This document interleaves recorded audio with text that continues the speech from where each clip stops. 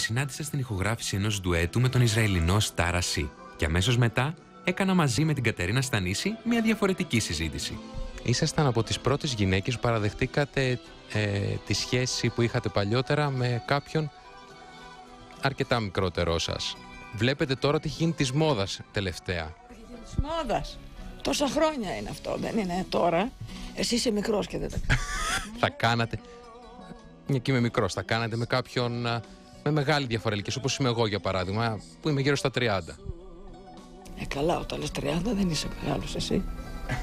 Περίμενε, είσαι πολύ νέος.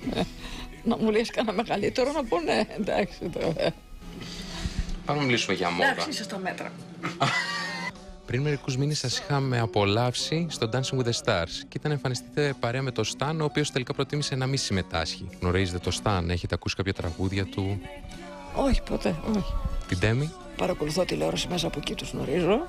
Αλλά δεν μπορώ να πω, δηλαδή δεν μπορώ να παρακολουθήσω όλη την ελληνική δισκογραφία. Από πού επιλέγετε τα ρούχα, σε επιλέγετε ρούχα τα οποία είναι από σχεδιαστές ή προτιμάτε να ψωνίσετε ακόμη και από λαϊκή; Γιατί στη λαϊκή τα, τα πράγματα που πηγαίνουν εκεί, πηγαίνω και εγώ στη λαϊκή, είναι όλα από μαγαζιά τα οποία έχουν κλείσει και τα δίνουν στη λαϊκή. Δεν είναι κακό αυτό. Ασχολείστε με τεχνολογία, Facebook, Twitter. Δεν ασχολούμαι καθόλου, αυτά τα ασχολείται ο αδερφός μου. Και έχω και πολλούς φίλους που κάνουν κάποια εκεί, ανεβάζουν, κατεβάζουν φωτογραφίες. Ε, ε, όχι ότι δεν μπορώ να μάθω, απλώς δεν ασχολήθηκα.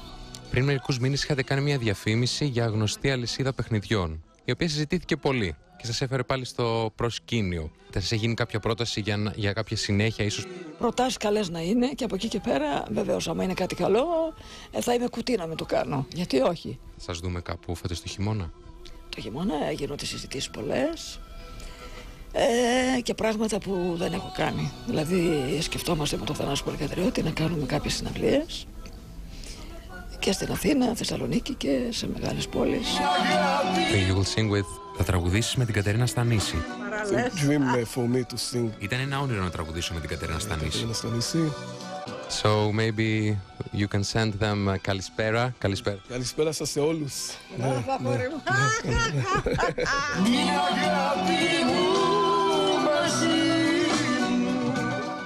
Καλησπέρα λοιπόν και σε εσάς.